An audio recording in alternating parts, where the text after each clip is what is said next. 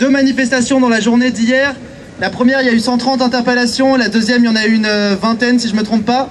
Donc, la première, euh, les lycéens étudiants euh, ont été libérés. La deuxième, il y en a qui ont été emprisonnés à Marx-Dormois au commissariat.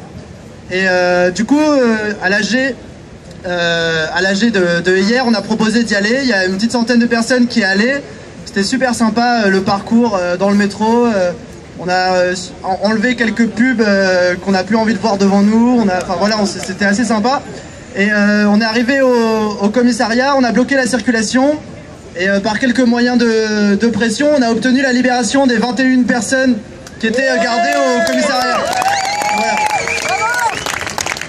Pour dire, que, pour dire que le rapport de force, c'est super important et que c'est toujours que comme ça que ça marche, malheureusement. Ensuite, on est revenu euh, à l'AG avec un petit cortège. Et là, on a appris qu'il y avait d'autres personnes qui étaient à un autre commissariat, pareil emprisonnées, Montagne Sainte-Geneviève. Il y a une autre centaine de personnes euh, qui allaient avec de nouvelles personnes, etc. On y allait et euh, là, cette fois, ils ont refusé la libération, mais on a bloqué le boulevard Saint-Germain. C'était super sympa. au début, on était une centaine, au fur et à mesure jusqu'à 250. Et on a mis des, on a installé des barricades sur le boulevard Saint-Germain. Ça a rappelé des choses un peu de mai 68, c'était sympa. On pouvait lire euh, La commune refleurira sur les, barricades. Ça faisait vraiment plaisir. Et euh, il y a un saxo qui est arrivé, enfin c'était super sympa, on a dansé et tout, jusqu'à une nasse policière. Euh, et vers à peu près, je dirais, 2h du mat, 2h30 du mat, ils ont ouvert la NAS, mais ils ont voulu interpeller des personnes, la BAC a interpellé des personnes. Il y a eu pas mal de violences policières, il y a notamment, je suis pas au courant de tout, notamment une copine s'est fait casser le poignet, c'est-à-dire euh, elle criait euh, des bisous, des bisous, pas des, pas des coups, elle s'est fait casser le poignet par un policier juste après. Euh, ça, ces violences policières, elles sont absolument constantes, notamment en banlieue, mais dans les manifestations. Et c'est bien que l'AG est posé comme le refus des violences policières.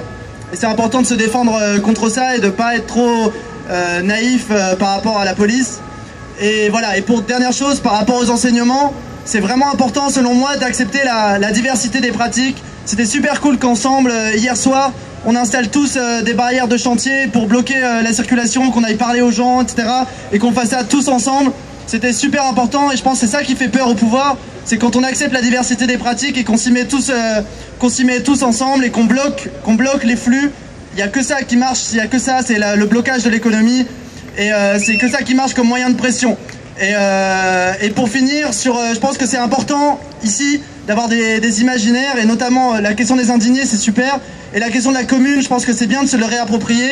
La commune est 1871, ça a été un moment super important où les quartiers, on a réapproprié nos quartiers, on a réapproprié les rues. Et, donc c'est super cool de refaire fleurir la commune, voire pourquoi pas un jour renommer cette place.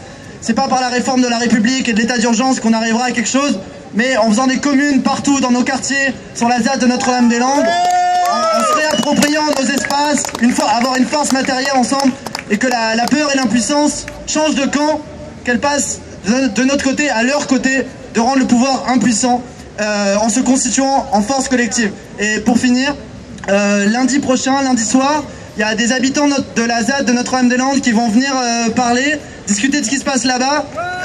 Il y aura une il y aura une, euh, une, projection d'un petit documentaire d'une trentaine de minutes d'un habitant euh, sur ce qui se passe là-bas en termes d'autonomie politique, de production agricole, euh, de réinvention de nos modes de vie. C'est vraiment, vraiment dingue ce qui se passe là-bas. Pour ceux qui connaissent pas, ce serait génial de venir. Vraiment, c'est fou ce qui se passe là-bas. Et du coup, voilà, je vous invite tous à venir lundi soir. Il y aura une projection, un débat, une discussion. Et voilà, merci.